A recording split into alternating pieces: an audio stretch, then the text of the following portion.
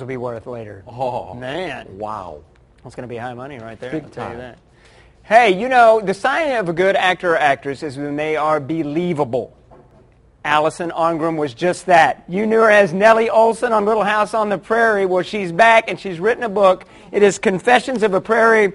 Shut your mouth. Can you say that on this I don't know if I network? can or not. Yeah. Confessions that- of a yeah. Prairie.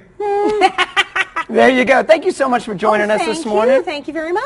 And, and that is the thing. A lot of people thought when they saw your character, they just thought Yes. that's the way she is in real life. I bet she's the meanest. Oh. That's a good actress. It's an actor's dream. I mean, Exactly. it's one thing to have people come up and say, "Oh, you gave a lovely performance." It's when they believe it and go, "Oh, oh, "I hate you, I hate you. Oh my God, you're horrible." It's like, "Yes, thank you, thank you so much. You're too kind." Yeah. and people probably, because it was so believable, they thought you and Melissa Gilbert were probably just More arch oh, enemies. yeah. People were just like, "Oh, Melissa Gilbert," and I'm like, "Uh, hi, she's like my sister." BFF. Y'all are best buds. Y'all like BFFs. Completely. Yeah, and does that continue to this day, right? It does. Now, the funny thing, of course, you have Melissa Sue Anderson is like the frenemy.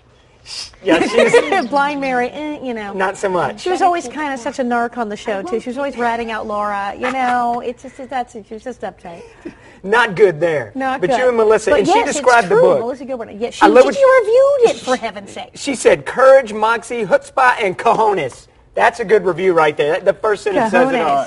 Now, you grew up with a, a unique background because your mom was the voice of Gumby and Casper Yes, the Friendly Ghost. and Casper, and Davey of Davey and Goliath. No and kidding. Sweet Polly Purebred Underdog's girlfriend. you were kidding. I watched all of those things right? growing She was up. a guest Smurf too. No doubt. She was only Smurf for like a week, but yeah. and your dad was the manager for Liberace. Liberace. Oh, he worked for Debbie Reynolds, Susan Anton. But this meant I got to go to Liberace shows when I was like eight. what was it like growing up with that? I mean, you obviously went into the business at a young age, but what was it like growing up with that around the house? Yeah, it was a totally showbiz family. We lived at the Chateau Marmont on the Sunset Strip when I was a little girl. It was absolutely bizarre. I thought everybody in the world was on TV until I was like seven. Yeah, you thought you were living the Jim Carrey, the, the Truman Show. It was. life. It was like the It Truman. Show. I just thought everyone was on TV. It was this is all real. Yeah. Unbelievable. Now, you, you tell some great stories about what happened on the show. One that I got to ask you about, Michael Landon wore no underwear. Correct. How do we know this? Well, those pants were tight. It was the 70s, and it was like hot then to wear like tight jeans and no under. But usually, guys in the 1800s didn't go around with no shirt and skin tight pants and no drawers. Exactly. But we found out from some poll that our biggest viewership was women 40 plus. So hence the shirt came off and the pants stayed tight and the underwear stayed in the drawer. there you go. It was all And, and why we were in the top 10. ratings. And you loved the guy, right? It di- I did. I did. He was hot. He was fabulous. And a warped, twisted sense of humor. Absolutely brilliant. I mean, he directed the show, he wrote the show, he produced the show. Total taskmaster and perfectionist, but just demented sense of humor. I mean, just so much fun. So much fun for seven years. How, how has your experience on that show, how has that uh, affected you today? I mean, it, looking back on it now, would you do it all over again? I think so, although I have to say, we never knew. When we got the show, nobody, none of the actors thought that it was going to go for Really? seven years.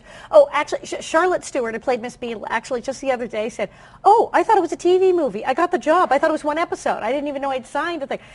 With no idea. And if you had told us that 30 years later we'd be going cross-country and all over the world, that I'd be going to France because they love La Petite Maison, I have no idea. I got French people, I got people in Argentina and Poland writing to me and asking for autographs. We never would have anticipated this. It's madness. Well, it was a huge hit, and I expect the book to be as well. If you'd It like her to a hit. sign it, It they can come meet you and have, have Yes, it signed. tonight. Tonight at 7 o'clock, 7 to 8.30, St. Louis Public Library, the Schaff, Schlafly branch, easy for me to say. Schlafly, should Schlafly, Schlafly. at 225 North Euclid Avenue. Uh, uh, awesome read. I'm told. Jared, our director, producer, Yeah, yeah, yeah. his wife, huge fan of yours. Awesome. And she's read the book and loved it. Oh, good. And I have a few bookmarks. I have these really cute bookmarks I had made, and I had some at Mall of America the other day. Nice. And I found like a few more. So like, I don't know, it's like the first 15 or however many I have. You get a bookmark with the whole Nellie thing. You got to come see her and get the confessions. Get more of them. It's really good. Tonight, 7 to 8.30.